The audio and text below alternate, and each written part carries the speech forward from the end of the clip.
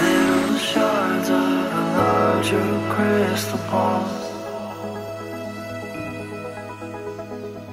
I drifting it all Just squares and circles.